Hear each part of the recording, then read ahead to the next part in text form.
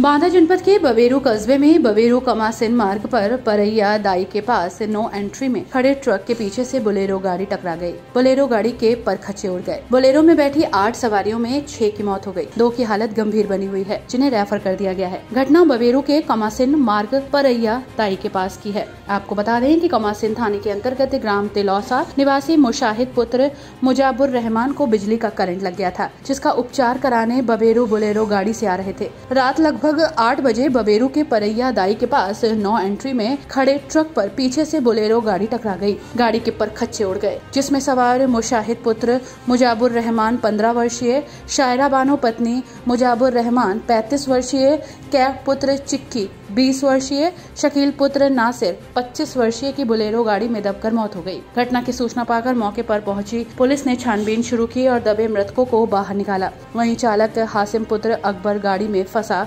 पाया गया। Gas cutter machine से गाड़ी की खिड़की कटवा कर उसे निकाला गया। पुलिस ने शवों का पंचनामा भरकर पोस्टमार्टम के लिए भेज दिया है। कितने लोग घायल हैं? कितनों की मौत हुई है?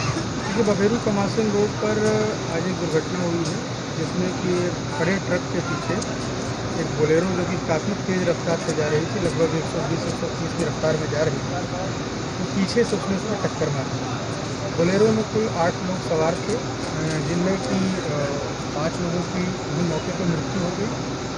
एक व्यक्ति सी एच सी बघेरू में उसकी मृत्यु हुई और एक और व्यक्ति के भी यहाँ जिला अस्पताल में डेथ हो गई है, जो लेटेस्ट जानकारी मिली है।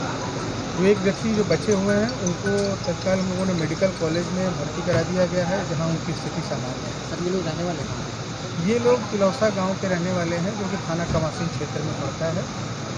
कहाँ पर जा रहे थे कुछ जानकारी अभी इसके बारे में जानकारी की जा रही है। अभी जो एक इसके बारे में कोई कंप्लीट डिटेल नहीं मिली है जैसे हम लोग और जानकारी कर रहे हैं। क्या सर एक ही परिवार के नहीं एक परिवार के नहीं थी दो तीन परिवार के अलग अलग परिवारों के थैंक यू। मामला हम लोग इधर सी में आए हैं, यहाँ जो तुलौसा क्षेत्र से एक गाड़ी में आठ लोग जा रहे थे ड्राइवर समेत।